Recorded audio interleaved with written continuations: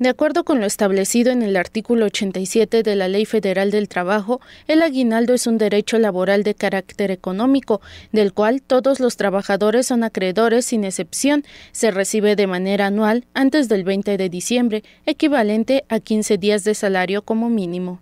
La delegada de la Secretaría del Trabajo y Previsión Social en Tlaxcala, Viviana Barbosa Bonola, explicó que el resultado de 210 inspecciones para verificar el pago de la prestación en 2013 se aplicaron multas por más de 60 mil pesos derivados del operativo Aguinaldo Infonacot. Esta es una obligación que tienen los empleadores hacia sus trabajadores, mismos que deberán de cubrir de acuerdo a la Ley Federal del Trabajo antes del 20 de diciembre. En este sentido, pues exhortamos a todos los empleadores que cumplan con esta obligación en tiempo y forma.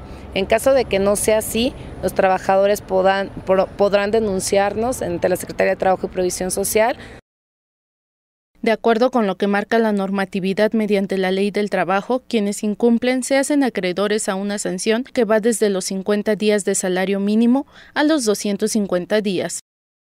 Estas 210 materias que realizamos en el 2013 fue de acuerdo a nuestra programación y a las denuncias que recibimos los trabajadores. Esperemos que eh, logremos las 210 que nos marca este año nuestra programación y que los patrones, por supuesto, pues cumplan eh, con eh, la retribución de este aguinaldo, que es un derecho de todos los trabajadores.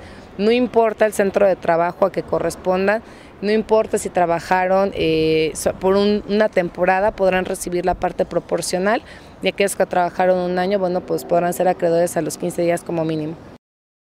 Cabe resaltar que el pago de la multa no exima al sector patronal del cumplimiento de sus obligaciones, por lo que se hace un exhorto a hacer el pago respectivo de esta prestación. Aquellos trabajadores que han laborado durante un año al menos deberán de recibir 15 días de salario. Sin embargo, se podrá hacer el cálculo de acuerdo al número de días, meses o semanas a las cuales estuvieron eh, colaborando en un centro de trabajo, mismo que podemos calcular.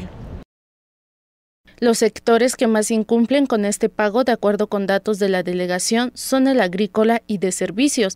En caso de presentar alguna queja, lo puede hacer de manera directa en las instalaciones de la Secretaría del Trabajo y Previsión Social, ubicadas en kilómetro 1.5 Carretera Federal Puebla-Tlaxcala o al número telefónico 0124646 2300 extensión 102.